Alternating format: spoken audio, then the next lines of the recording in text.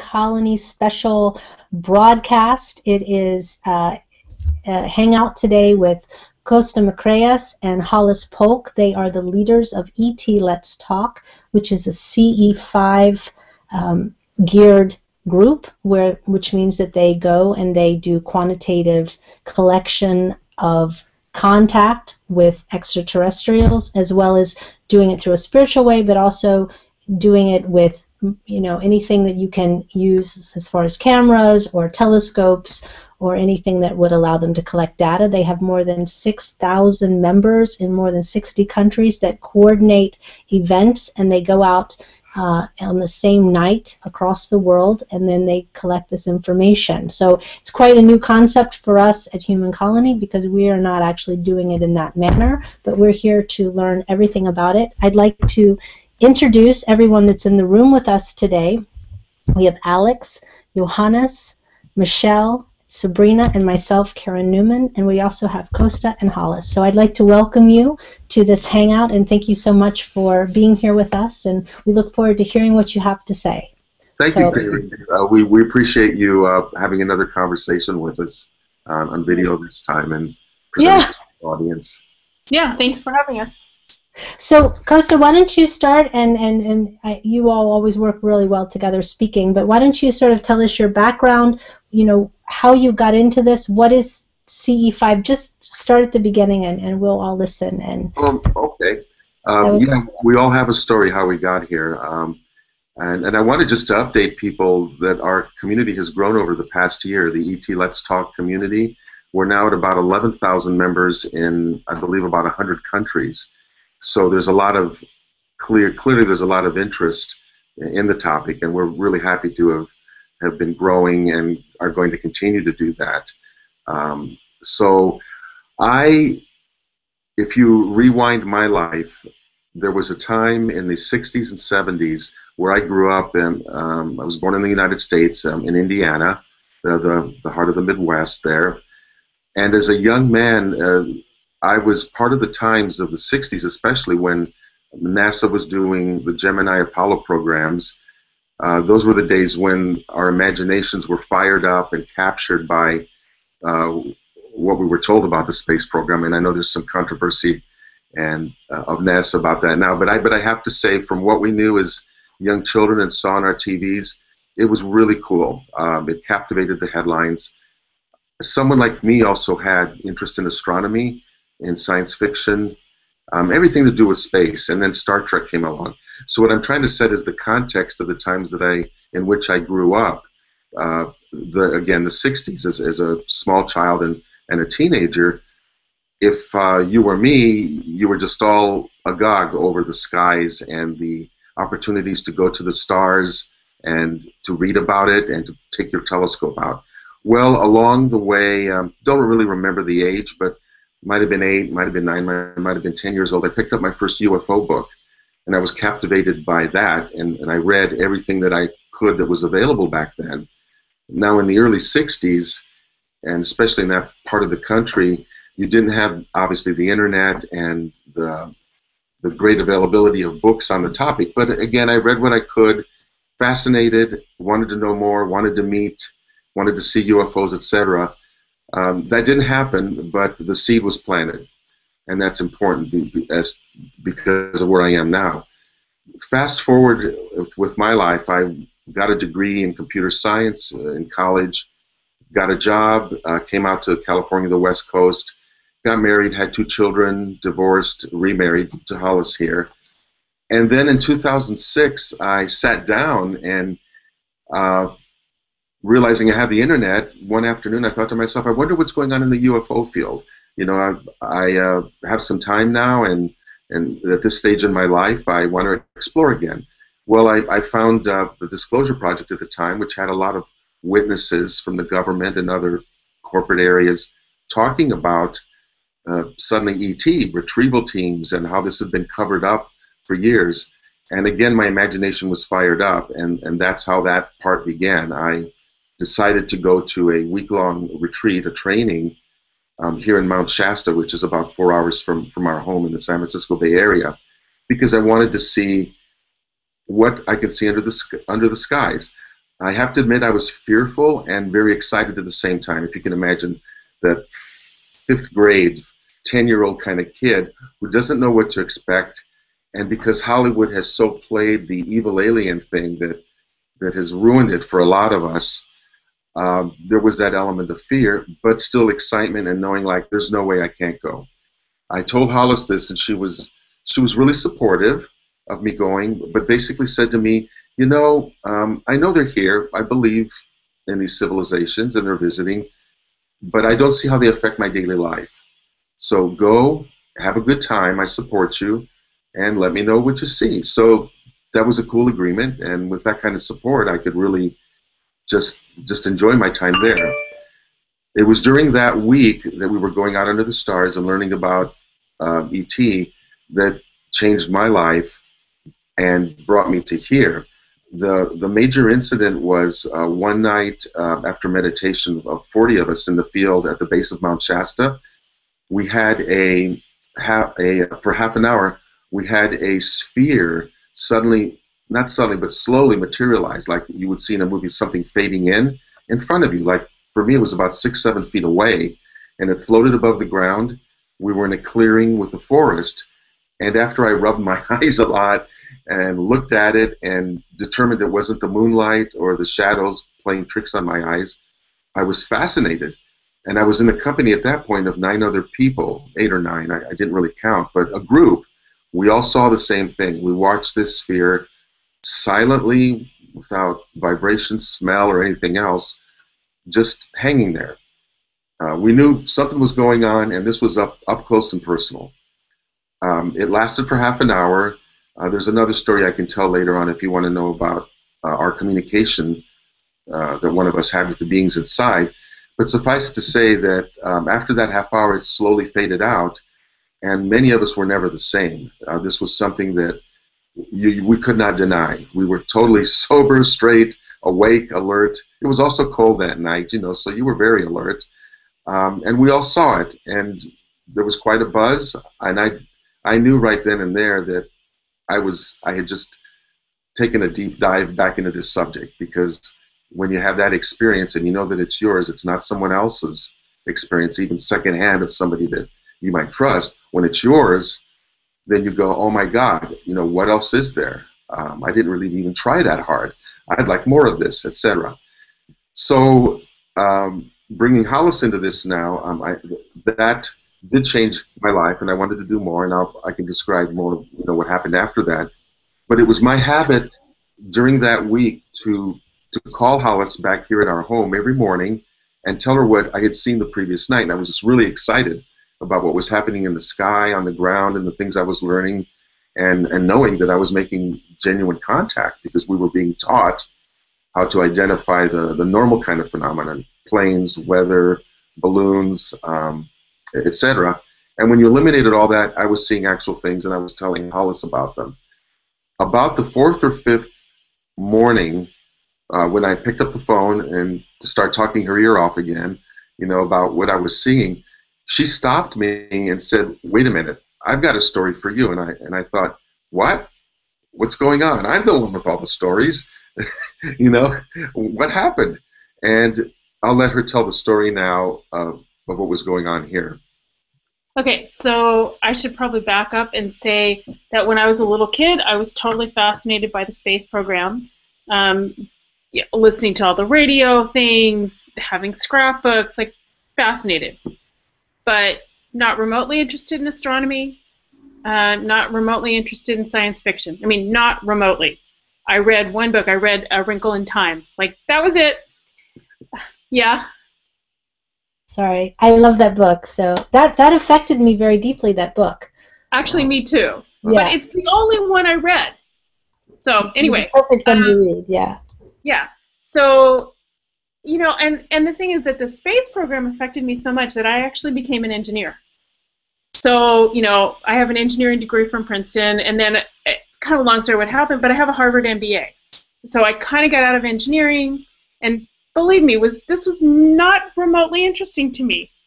You know, uh, like Kosta said, when he went up to Mount Shasta, um, I was like, have a good time, you know. Um, but uh, it doesn't do anything for me. So I was at home, and uh, one night, and again, it was the fourth or fifth night. Um, I was reading in bed, and I turned out the light. You know, you reach over, you turn out the light, and you, you know how you kind of have to scooch down in bed to go to sleep? Well, I turned around to scooch down in bed, and there were these like four little beings standing around the foot of the bed looking at me.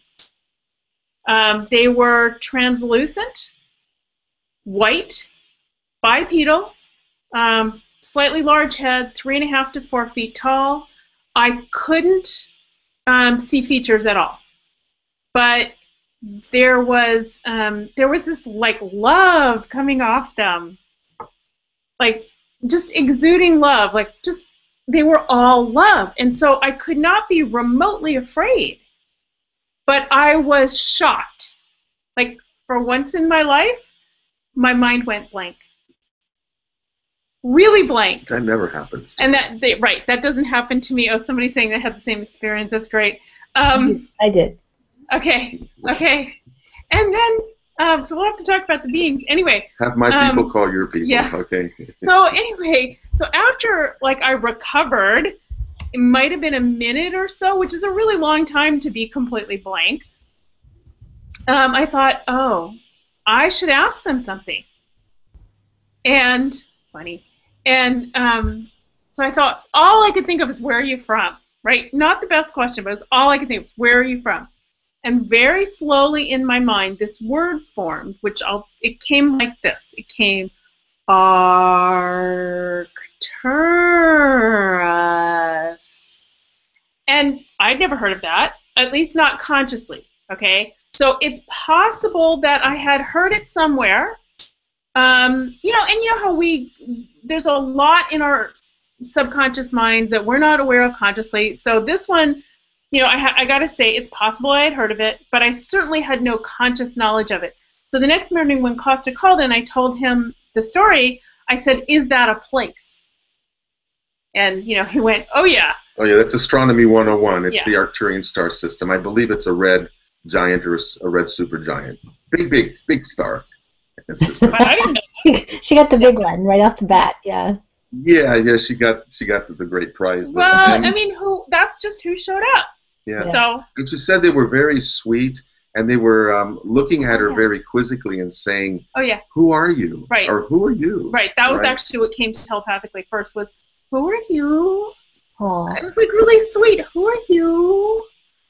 You know, and so there was nothing to be afraid of, and it was like, and again, my mind went blank. So I'm sure they got who I was without me having to tell them. You know, and and anyway, so after a while, after a few minutes, they just sort of faded away. We we theorized that because of the connections I was making in Mount Shasta, four hours, four or five hours away, daily and deeply, they may, must have followed my energy because I was talking to her every day, and obviously because we were married, we were, we were close. We just figured they followed my energy link back to our home to her, and that's kind of where the "Who are you?" question came from. Hey, this guy's spending a lot of time talking to this woman. You know, what's up? You know, and so they showed up. Yeah. And but what's really powerful about this is that as Hollis finished that story, and I'm kind of like pulling my jaw up off the floor because I did not expect to hear something like this at all. Uh, She says to me next year about the, the retreat. Next year, I'm coming with you. It's personal now. So Okay. Now it affects my life. now right? affects- They're here. Like Yeah. they're really here. Well, it, isn't it interesting? I mean, the, the contact was made visually by people who say maybe you're not psychically expecting to have to tune into something, and you, because Hollis is a psychic and a medium, you know, I'm not a good medium. I'm not reliable as a medium. I'm a good psychic. They're okay, just like great psychic, and that's the rule. All psychics are not mediums, and all mediums, but all mediums are psychic. Right. But anyway, she's a psychic, and they connected to her in a way that would, you know, grab your interest and and you know. right because it was with my eyes. It wasn't clairvoyant. If it had been a clairvoyant thing, Mhm. um, I would have said, "Oh, well, like okay, that's nice. I had contact from something. I don't know what it is. Um, you know, I mean, I have guides, and I see images of them internally, but it's the still to this day the only time I've ever physically seen something with my eyes that were clearly beams. Right, right. So this was different. Yeah. And as for me, because I don't have a clairvoyant vision, inner or outer, it was important for me to to jog my interest in this again to see something with my physical eyes within the range of perception that I have.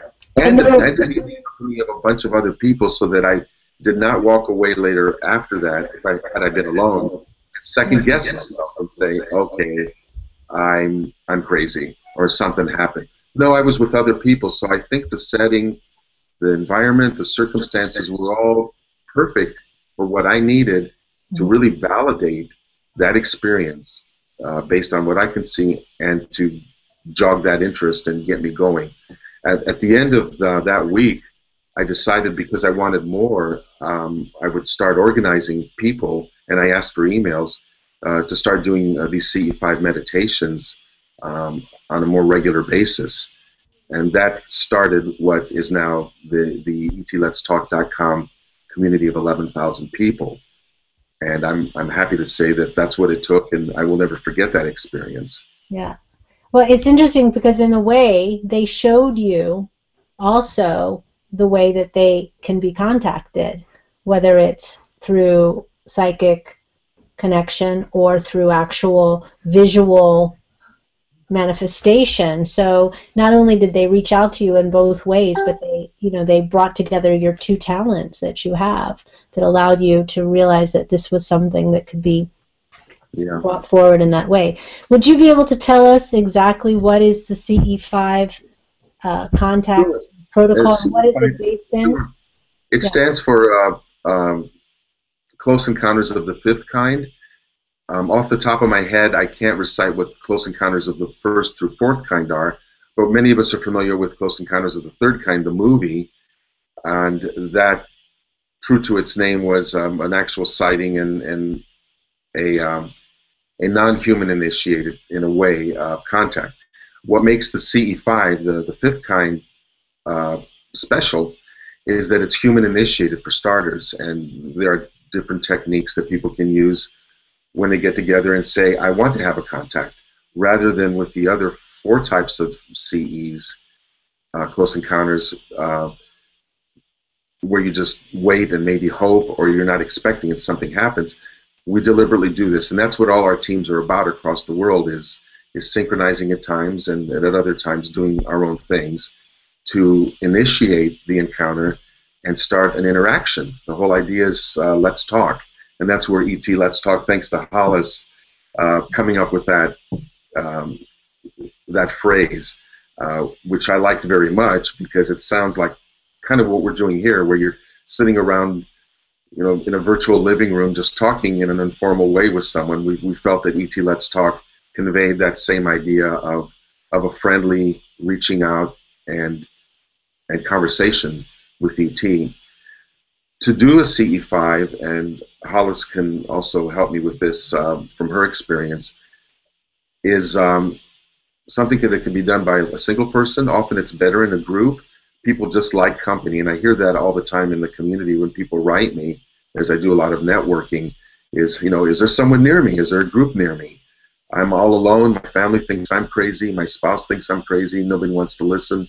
I like to find company.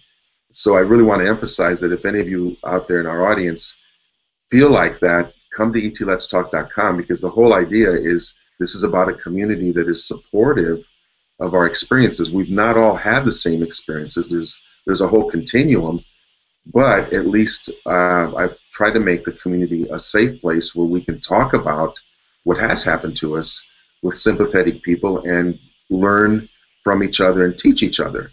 That's what a community does. This is kind of crowdsourcing ET contact.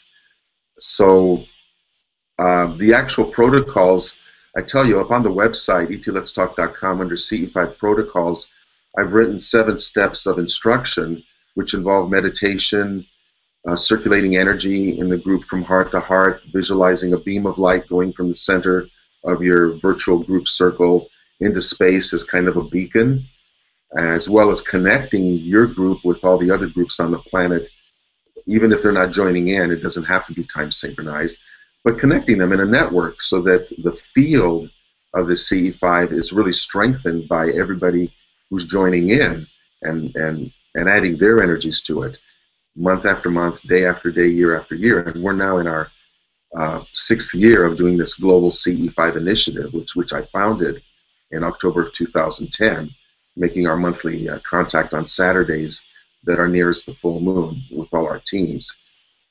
Each team, it seems, will take those seven instructions and kind of customize. I, uh, I, um, I emphasize the, the core of what those are should be that people participating in the contact who, who want this positive contact need to approach it with an attitude of goodwill towards our benevolent star friends, of an open mind, an open heart, sincerity, and inviting them to come in. That serves to raise one's personal vibration as well as, as the group does it together in, in a meditation, raises the group's vibration. And these spiritual civilizations, these ET intelligences, will pick up on that frequency. They've told us that. And, and they love the joy, the laughter, the group cohesiveness, the, the coherent group thought that's part of the CE5 experience. That's it in a nutshell, kind of just in a real informal way. Like I said, the, there's instructions which uh, kind of fill out what I was just saying here, but but basically that's it. It's it's your intention that we believe really really sets the tone for whether you're going to make contact and, and how. And I'll let Hollis here. She has some experience with um, with uh, with CE5. You know your your your approach is uh, you've been in the group with us as much as as much as anyone has had. Okay, I'm, I'm not sure not sure what you're asking, but um, you know we've had a variety of experiences. The you know all the flavors of lights in the sky. Um, we've also had uh, I can I'm thinking of one time in particular when we're doing our meditation or slightly after the meditation and I could feel to my right because we're outside we're sitting in a huge circle know there's a couple feet between each person and I could feel like a warmth it was a cold night and I could feel a warmth maybe a foot or so to my right and so I took out my hands and you know I don't know if anybody has done this if you've ever um, felt your own aura or somebody else's if you um, rub your hands together. A lot of people like to do it literally skin on skin. I don't. But if you move your hands like this, you can you can feel your own aura, and then you can start to feel. Yeah, if you want to try it now, feel free. Like go for it. Um, and um, then you can feel you know somebody next to you's aura. Anyway, so I had people doing that, and people came over, and people could actually, everybody else could feel this being too. So that was one sort of manifestation. And that's what I want to emphasize. Uh, it's not just about the lights in the sky. As as exciting as that continues to be for many of us, you know, when you see a an anomalous light or several of them zigzagging, pulsing, um, when you send them a thought, maybe flaring forth and phasing in and out for you as a, as a means of bidirectional communication. That all, that all remains exciting because you realize they're intelligently piloted. It's not just uh, some random abstract thing out there. There, there are beings there that are aware of us and want to communicate in whatever way that our perceptions will allow. So yeah, the lights in the sky are great, but what Hollis was just describing also is important. There are nights when we can't go out under the stars, you know, for, for weather purposes, uh, obviously. So we do meditations indoors, and it's totally possible and, and has actually happened that ET beings will join us in our circle, and different people will be able to perceive them. You know, Hollis gave you just one example now of being able to feel them. Other people will feel waves of love. They'll feel a presence looking at them. Later, when we compare stories after the meditation, we'll realize one or two or three people saw the same thing silently as they compare so we validate each other that way. We're not just, not just uh, being totally woo-woo and, and out of our bodies. We we talk about the um, the experiences and, and share, and, and it's kind of like the blind man with the elephant. Sometimes there will be a being in the room, but each person has gotten a different sense of it. but once you talk and realize you were having the same experience, but just seeing it from your own perspective or through your own filters, that's really validating for a group and validating for yourself that you really did experience something and that you as the group created a field where you could have a common experience. That's really powerful because the CE5 really is all about consciousness uh, in reaching out and in doing the communication and in doing it in a sincere way. And you have to be ready for the, the results to come in many different ways. I know we have had um, smartphones turn on by themselves. Oh, wow. Nice. You know, and, and, and they'll turn on right after meditation with a song that's related to star people or something that's in the playlist, and it'll start playing. That's one example. I could come up with uh, lights in the house, uh, our cars, um, other electronic devices like radar detectors, uh, chirping out in the middle of nowhere where there, there is no signal, you know, 50 miles from nowhere. The stories keep going on and on as I listen to what people from uh, our team, our 11,000 members, send to us every month. You wouldn't believe what they come up with that you never thought of from flyovers of their house of actual craft that they can see with the shape and lights and all that mm-hmm. to to other experiences in the ground of having a visit like Hollis did in their room and a telepathic communication as well. They capture some of this on, on video uh, with pictures, and, and that's what's exciting about our community is is we're gathering that evidence. Right. We don't have the like a scientific study and, and quantify it in the way that we would like. I just meant quantifiable as, as a meaning as actually volume of the, the actual volume of data. The fact that if you have 11,000 people in, in 100 countries, 110 countries, I'm sorry I shortchanged you on how many you had, but no, 100 fine. yeah. but if you have that continually, repeti- rep, uh, rep, repetitively over time, that's a and you know if you have all this data over now six years, it's pretty impressive to anyone who would want to look at it. So when I say quantifiable, I mean more or quantitative. I meant more as, as sheer mm-hmm. volume of material. Um, but yeah, that's really that's really something. There's a couple questions that maybe you can address because they're in line with what you were saying. Um, okay. One of the the questions that was really just nice was just that can we do this because we have these hangouts all the time where people from Human Colony hang out. Could we do this in a hangout like we're doing it now? Um, or do we all need to be together? Um, do the people need to be in the same room, or yeah? Okay, no, we actually used to have a Skype group. Okay. okay I'm getting a little weird echo. Oh, that's me. Let me let me mute my mic real quick. Okay. Thank you. Um, so we used to have a Skype group. We were here, L.A., Texas, Toronto, Toronto and every now and then somebody else would show up. So yes, different countries are fine.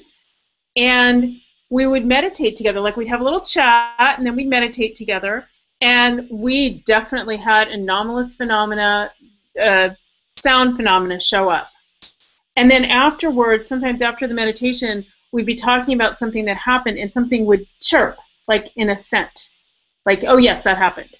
And that happened right, like pretty much every time we meditated together, there were these electronic sound phenomena that happened. And not only electronic, but in the meditation, each person in their location could feel the presence of a being, for example, or they, they saw a light moving in the room.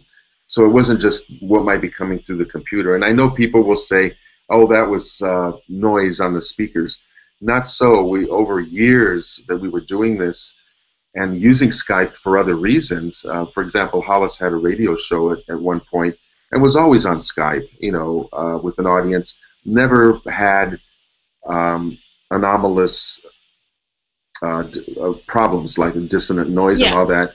And yet, when we would get on and do these ET meditations with each other, sure shooting every every time, uh, different kinds of sounds would come through, and so we knew that uh, there wasn't the equipment as well as people have their own personal experiences too. Well, okay, and I don't know, maybe a month or so ago, this is related. Um, Kosta and I were doing Jimmy Church on Skype, and we heard those beeps. Like they were there. It, it was, was, awesome. It was the same ones we yeah. always worked with, yeah.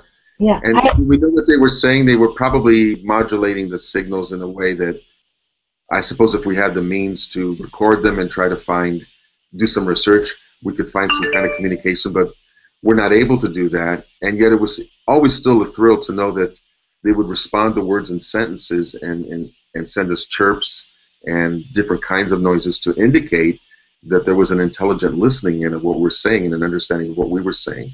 So, so the answer, the short answer is yes. Uh, Google Hangouts is being used. In fact, in my etletstalk.com community, there's a gentleman by the name of Thomas Kortholm, a wonderful man who does have a Google Hangout for our uh, monthly CE5 uh, global global CE5 initiative get-togethers. Um, if someone wants to write to me, and I can put you in contact with Thomas um, to to participate in, in his Google Hangout, or you know, do your own. Yeah, totally possible. And you know what? if you have friends all over the world, uh, why not use the technology we have like this to, to have company, right? Sharing this. Yeah, we, we, we'll definitely write to you because I think that might be a nice future hangout for us to do or participate in. Um, there's some other questions that if you if you're willing to take them. Um, one thing I want to say about the chirping, I had uh, together with Roxanne Swainhart, who's another person who's in Human Colony and a good friend of mine, we were doing some studies on Course in Miracles. We were getting together every week and doing Course in Miracles studies, and we had all of a sudden this sort of electronic voice that started coming through because we were doing it via Skype, and we could hear it, but Roxy couldn't. And um, my friend Crystal and I were like, "Can you hear that?" And, and finally this voice goes, "Can you hear me?" like that, and awesome. we were saying, we were saying, is this an, you know, we were like, is this an extraterrestrial? If you are, speak up, you know. And then we heard this, "Can you hear me?" It was really, really cool. I have it. I have a little uh, minute and a half clip of it. I'll, I can send to you, but it's pretty impressive.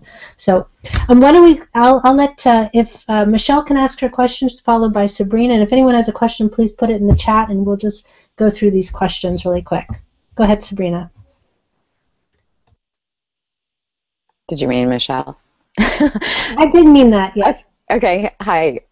Um, so I was really curious if this phenomenon only happened, um, like, does this happen for everybody in your community after you guys meditate together with that intention? Because you said we have all these different kinds of phenomenon that happen.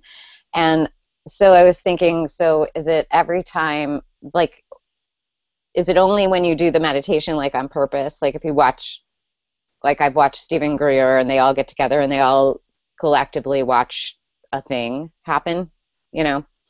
And then, so, or does it just start happening for everybody on, after that on its own? Also. You know, it's all of the above. Uh, with so many people out there doing this, th- th- there really is quite the range of times, situations where they get the contact. And, and that's the good thing, the good news, because sometimes if you, if you do a group, say do a group meditation and maybe nothing happens right away, but a few hours later, even after people leave, say you're home, suddenly yeah. you make contact in the house, you know, then that counts. I mean, that's part of the, the intention that you set. There's times when groups will go out in the field and start setting, just by the time they start setting up their chairs and getting settled in, and already someone's pointing at the sky and going, there they are, and they're making contact already. Then they'll still go into meditation. I believe that once a group has gotten together with a, a pure intent, the ETs have gotten your energy signature. They know the group vibration, and that makes it possible for them to still connect with you, even though maybe you didn't formally sit down and start meditating yet, or maybe you had an off night. And that's not to say that every time you try to make overt contact that you're going to be successful. Right. I, I want to tell people that, but I think over time, you you set up the pattern, set up the rhythm, and that's really important. And they will pick up your vibration. So I want to encourage people to to keep the faith with that. Uh, sometimes someone who's new will have something right away. Sometimes someone takes several times. Um, and again, you have to watch out for how it can happen. You know, be aware of your surroundings and your perceptions. You might have a telepathic message. You might have a lucid dream where an ET, that, that happens with people. Mm-hmm. Um, I mean, I've had the thing that's cool about a group having a experience at the same time is like I had a little dude show up. so, and but I'm the only one who saw it, you know. So, mm-hmm. or I go outside and I, I look at the stars, and then suddenly they start doing this amazing, beautiful dance, and I'm like, what? But I'm the only one looking at it. So, so I mean, it's neat to have a community that, like with the same intention at the same time, kind of, you know, experiencing yeah. that. No, I, I understand what you're saying. People who do it solo have experienced the same kind of frustration. I mean, it's an exhilaration. Like I really did see that, but it's nice to get another validation. Um, that's why I I encourage people try to find a group if you can. On etletstalk.com, we have a, a member map. People can join for free on the website. We have the our CE5 reports there and people making posts and, and sharing. But the map is is there for people to look at and find people in their area. So I encourage people to become a free member there. Uh, contact me by creating a support ticket to give me their location and contact info, and I'll put a, a, marker on the map for them so that other people can find them if, if it's a group they want. I, I also encourage people, even if there's um, nobody near you, just to reach out like proactively to other people on the map because they've also proactively asked to be there, so they're very likely to answer you. And right. what's really cool is you can make friends at a distance, and you just never know when someone on the other side of the world knows somebody who's in your city that's interested in this, and they introduce you to them. I've had that happen over and over. So it just it just pays to put yourself on the map, reach out to people, and just start the talking, start the conversation, put it out there that you want to meet people that are close by because there's nothing like getting together physically. I mean, mm-hmm. Doing what we're doing now is, is cool. It's better than nothing. You know, before the internet existed that we that we had, but also being in the same room face to face is is very empowering. And and what I just mentioned uh, by using the map is just a good means to to try to find people near you. Will do. Thank you. Sabrina.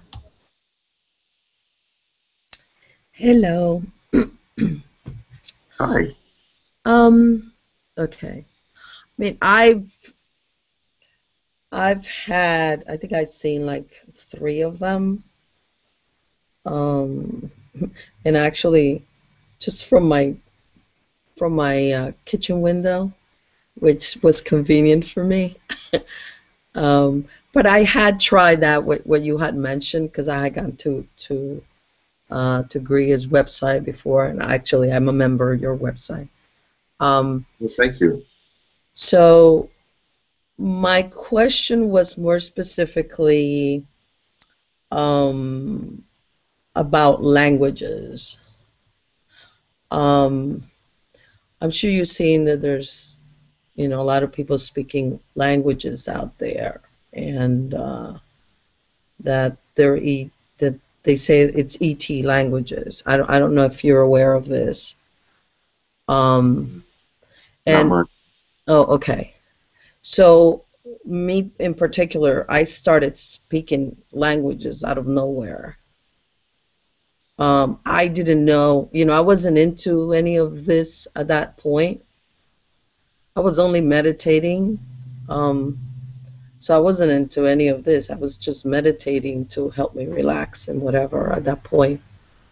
And then I started getting languages. And um, at this point, I think I'd spoken about 15 languages. Wow. Mm.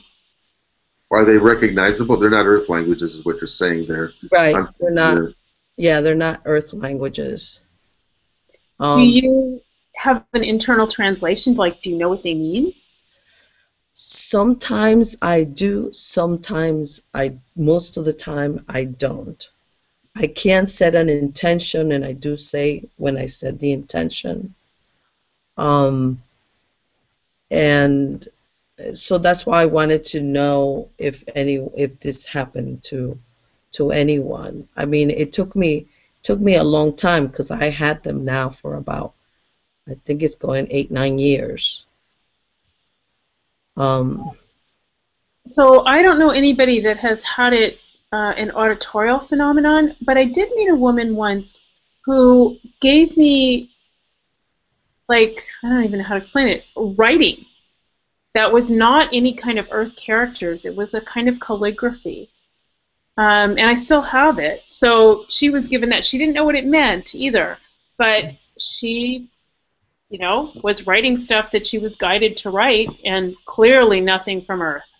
Yeah, we Yeah. we have just to tell you, and, and is we have quite a few people here, including myself, that speak galactic languages. I've spoken it since I was about 15 years old. Wow. Wow. It's Wow. a very distinctive uh, language, um, and many of us do that. Um, Valerie, who's here, she gets, and some other people, I think Michelle as well, get uh, tons of channeled um, writing that is. Valerie writes very, very fast. I don't know, Valerie, if you have anything you can maybe grab and turn on your your. I uh, think you got me confused. With I'm sorry, somebody Wendy. else. I'm thinking Yeah. Wendy. Sorry, Wendy. Wendy. There, Yeah, yeah, I'm 'cause here. I, I don't do that yet. also. I mean, I have writing. I have Go ahead. I have about three different kinds of writing. Yeah. So- Um, And Sabrina, you also have pictures. oh yeah, and I also draw ETs.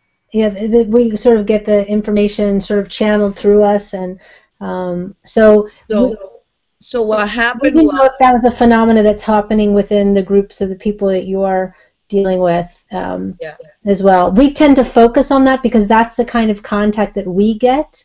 Um, that, but the reason that we were so interested to talk to you is because you're approaching it from, say, even broader standpoint. That so we'd like to maybe incorporate that as well to even broaden um, our own our own experiences as well, and and also expand our community and contact with people. That's that's the other Yeah.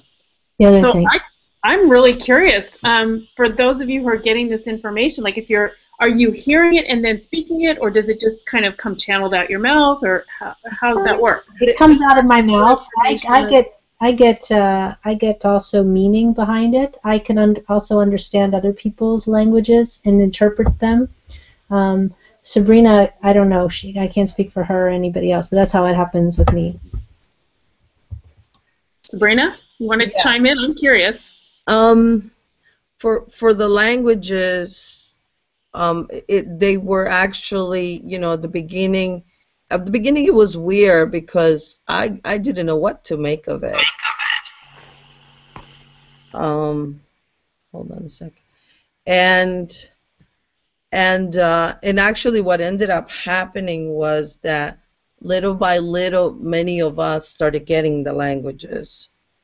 Um, so my main language, I I know it's Arcturian. Um, Sabrina, can you speak just a little so they can hear it? oh, Yeah. Yeah. yeah, sure. With my hoarse voice, but yeah. Um, it, that tends to be a more high pitch, but it's uh.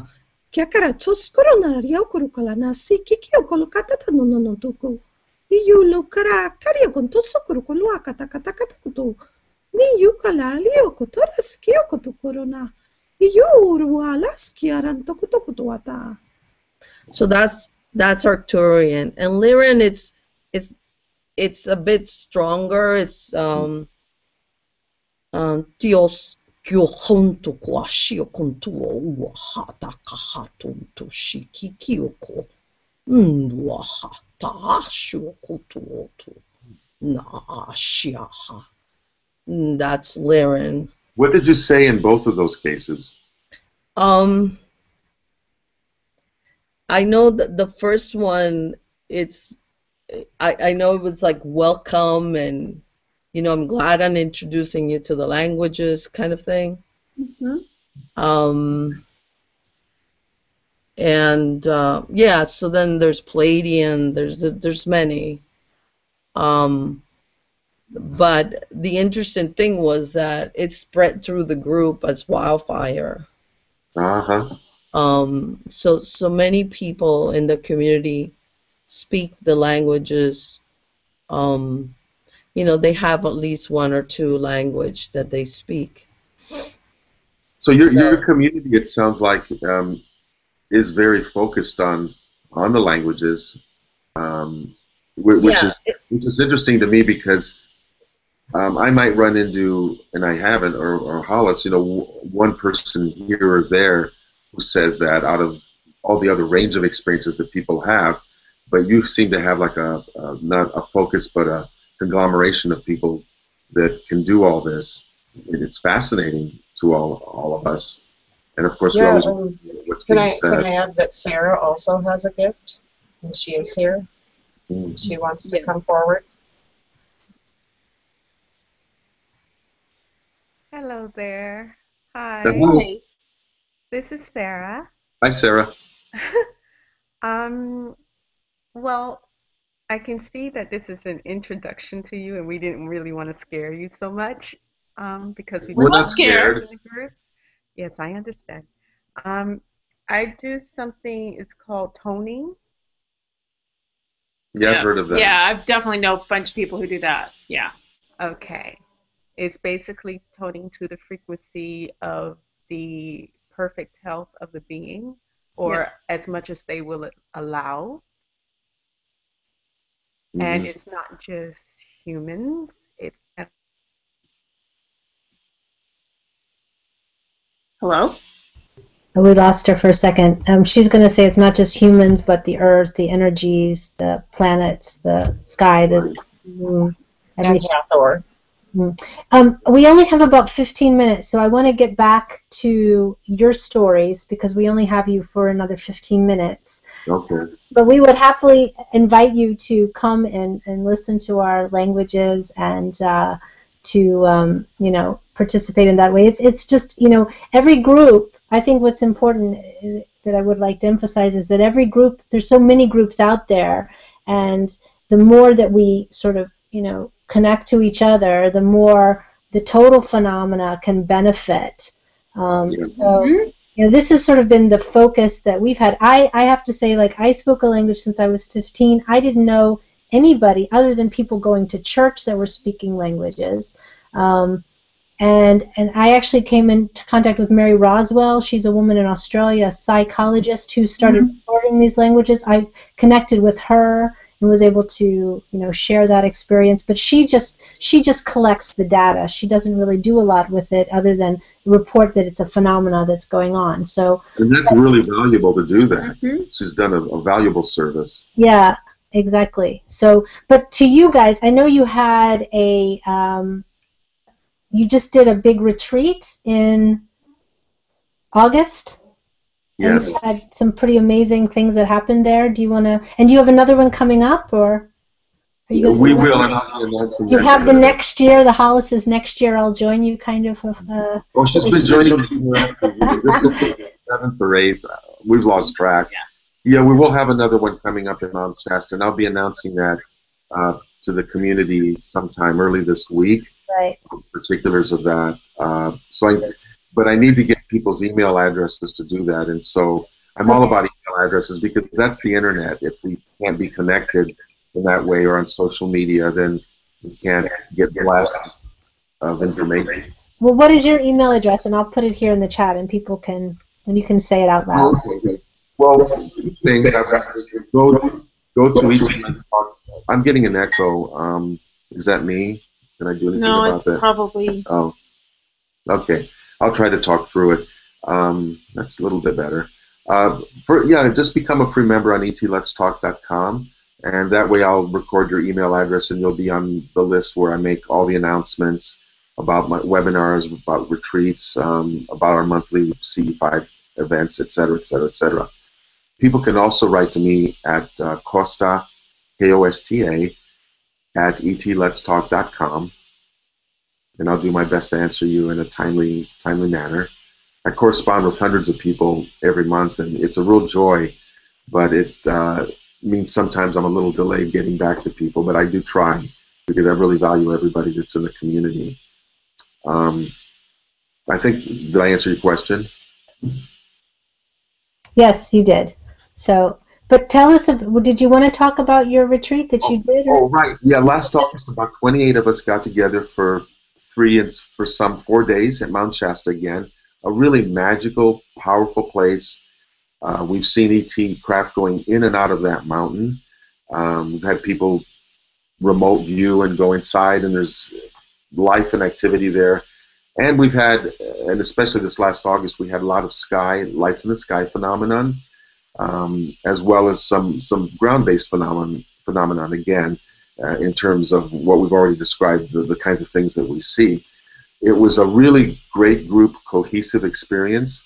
Uh, many of the people, or some of the people, didn't know each other, but everybody knew me because, as the organizer, I was doing matchmaker and thinking, you know, this person needs to come, this person needs to meet, and things like that.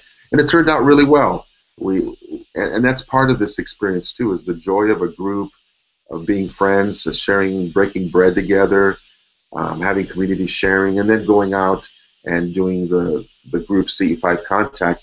That's only enhanced once people get together and hopefully like each other and become friends. And that's what that retreat was like just a real high energy, beautiful experience, and I want to repeat it. And like I said, I'll, I'll be sending out announcements about that uh, to, to people who are signed up on the website. Um, Hollis has, I'll let Hollis tell an interesting story now about leading a meditation during the retreat.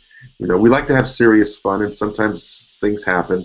Um, what I'm going to do while she's doing that is off to the side, plug in the power to my to my laptop. Wow, really. I had no idea. I started out at 100%, really at the top of the hour. I'm down to 20. So I had no idea that the, the powers that it takes to, to do this. So pardon me while I go off camera, and you'll hear a little bit of clicking, but I'll, I'll okay, be right back. Okay. So really, this isn't anything extraterrestrial, um, and sometimes synchronicities are kind of funny. Um, so you know, I start doing the meditation, getting everybody down. You know, take a deep breath. You know, all that stuff, and I get about maybe two minutes into it, and I hear somebody across the circle, and you know, there's I don't know, 28 people, so it's a pretty big circle. You know, everybody's a couple feet away, and I hear somebody across the circle scream.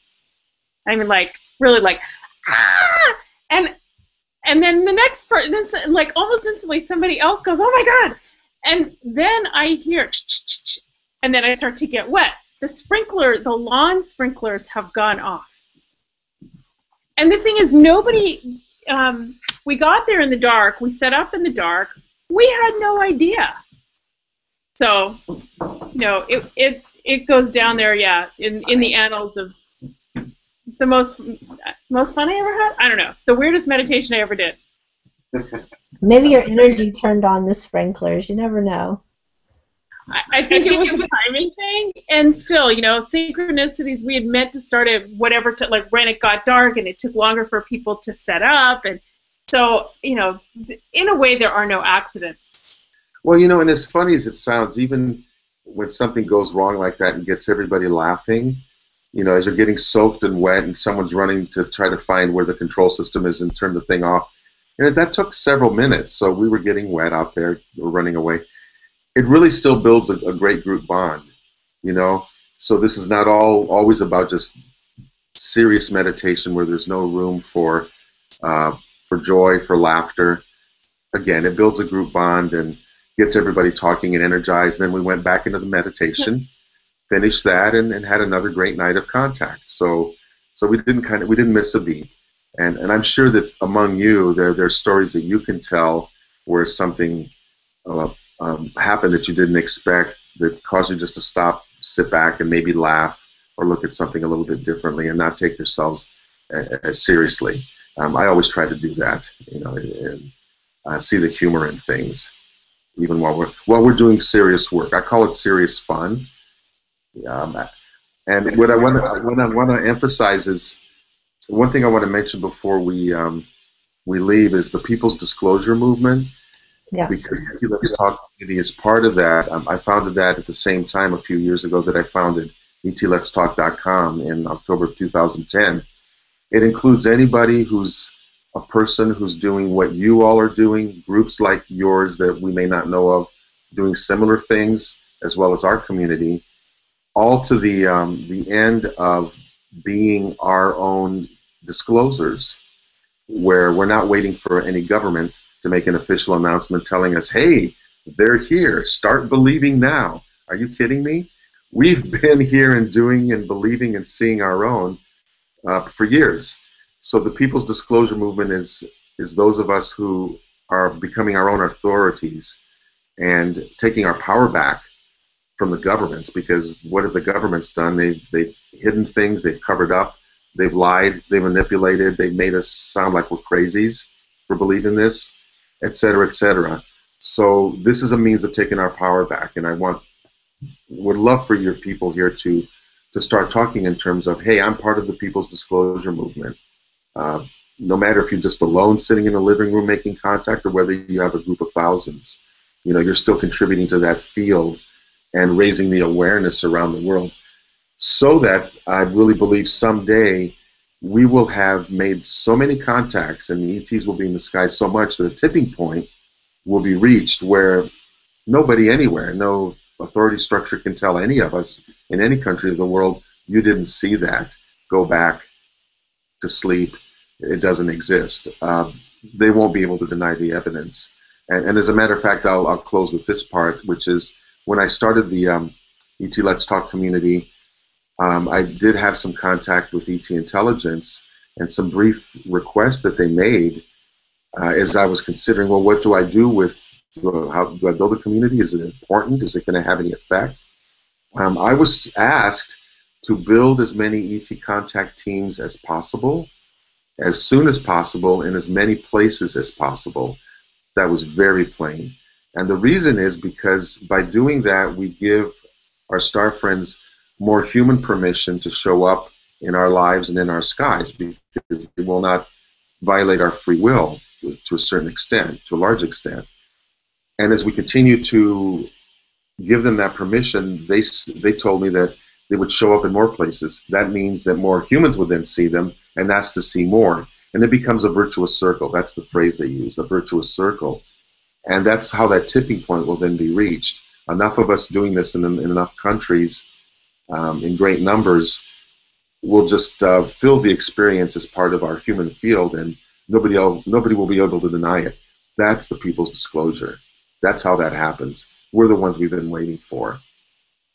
Well, I, I will say to you that, um, first of all, we thank you so very much because every one of us here is very committed to this happening, this disclosure. Um, we all believe it, whether we've had personal experiences or not. We're all quite convinced that this is this is the truth, and that you know we know that it does take that tipping point. And one of the questions we've been asking internally is, what does it take to get there? And Sabrina is very much, I'll speak for her for a second, she's really, really pushing. She wants that tipping point, and in her meditations, she's really shaking her finger at the universe, saying, you know, come on already.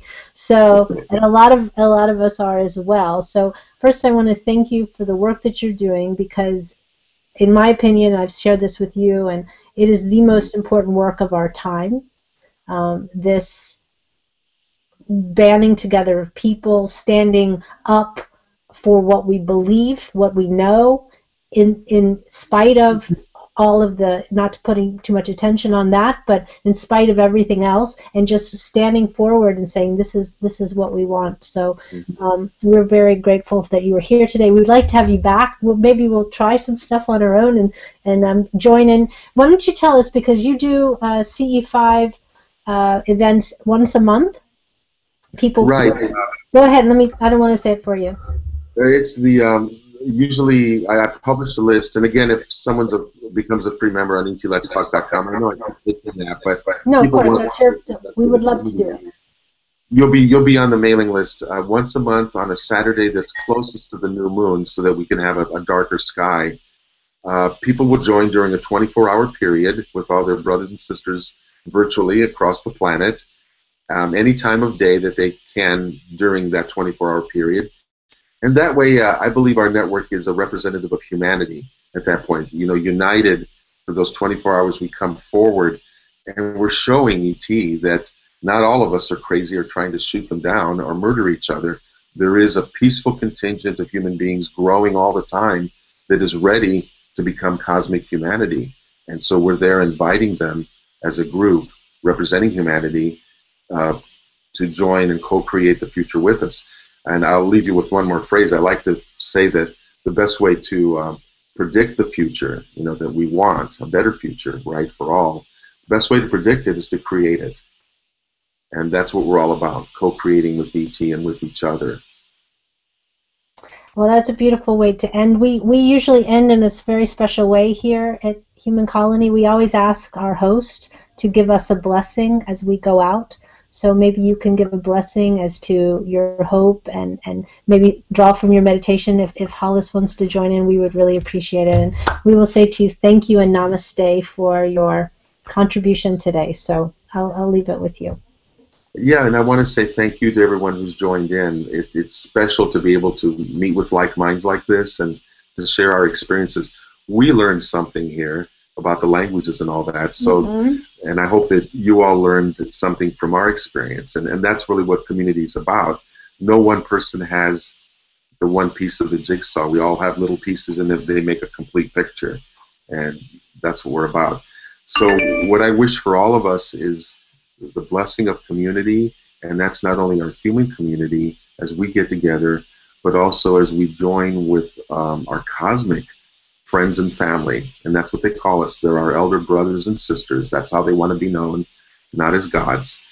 And so that's what I wish for all of us is continuing work to bring about the day when we more openly work with each other and, and bring a golden age of earth in manifestation together.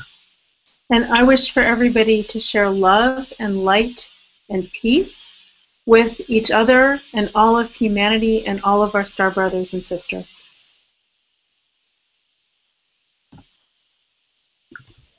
Namaste. Thank you so much. Namaste. Thank you, everyone.